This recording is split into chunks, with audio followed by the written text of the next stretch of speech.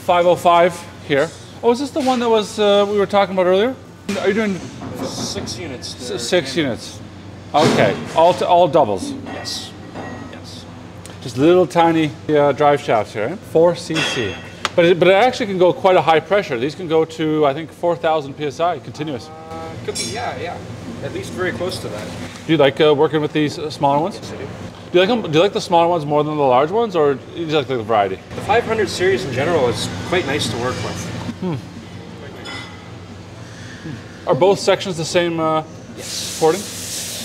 Uh, well, not porting, but Oh. the same uh. So they have one common suction though. Yes. Okay. Cool. Yeah, we're seeing seeing lots more of those. We're getting we're getting very good at these. I think a lot of it comes down to just how much inventory we have. Yes. The same one that Russell's working on. Here we are testing them. Not a lot of companies would test every single one of these because it's a fair amount of work for just for such a small unit.